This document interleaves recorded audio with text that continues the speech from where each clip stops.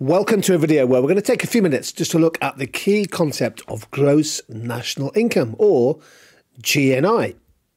So, what is gross national income? Well, it is basically the total amount of money earned by a nation's, a country's people and businesses in a given period. That's usually a year. Gross national income. Now, how is gross national income calculated? Well, essentially, it's very similar to GDP. Uh, so gross national income is gross domestic product plus the net income from overseas of the compensation or the rewards to employees and property income.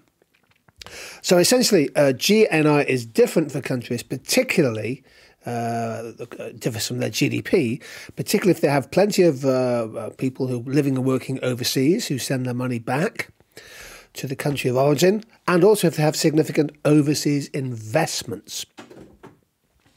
So here's some of the key factors adding to GNI for some countries. Uh, income from work and remittances, we'll talk about that in a second. Uh, remittances are the money that uh, people earn overseas, living and working overseas, and they send back to the country of origin. Uh, they can generate income from interest on bonds and savings held overseas income from dividends on the profits of investments from overseas, and also critically overseas aid transfers, especially the countries with a low per capita income. If we think about remittances, uh, here's a good example Latin America, Mexico, way out ahead in terms of uh, a country that's in Latin America receiving the, the biggest um, uh, inflows of remittances each year 51 billion dollars. Our picture here shows agricultural seasonal farm workers in uh, California. In 2021, nearly, nearly, nearly half a million extra Mexican migrants in the United States, typically concentrated in construction, hospitality, and leisure, as well as farming. And much of that income, of course, is sent back to Mexico. Uh, in sub Saharan Africa, Nigeria leads the way in terms of the value of remittances, just under 20 billion US dollars in 2021. And actually, if we measure as a share of GDP, which is perhaps the best guide to the scale of remittances, it's the Gambia. Uh, which receives uh, the highest, 27%, South Sudan, Somalia, Lesotho, and Comoros, all receiving very, very high percentages of their national income.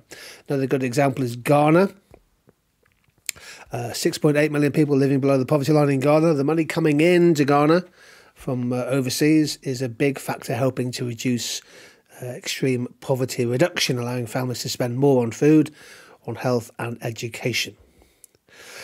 So, GNI uh, tends to be higher for those countries with overseas people living and working overseas, sending money back, and also in countries where there are significant foreign investments. These are the countries in the world uh, that have the highest gross national income.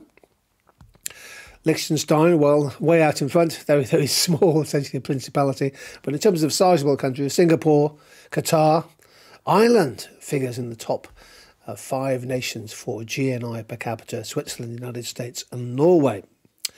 Uh, the UK comes in, I think, at a GNI of around 45,000 uh, dollars per capita. You can just see it right at the top of the chart there, just ahead of South Korea. And these are the countries with the lowest GNI per capita. Burundi, according to the 2022 um, Human Development Index, had a per capita income of just over $730 GNI per capita. And these all of these countries have a per capita income of less than $1,500 per year. This is in, expressed in real terms at constant 2017 prices. So clearly, these countries are the poorest in the world by using this measure, GNI per capita. By the way, GNI has gradually replaced GDP in many international statistics. So, uh, overview uh, gross national income, GNI, is an alternative to gross domestic product as a measure of wealth. It calculates income instead of the value of output.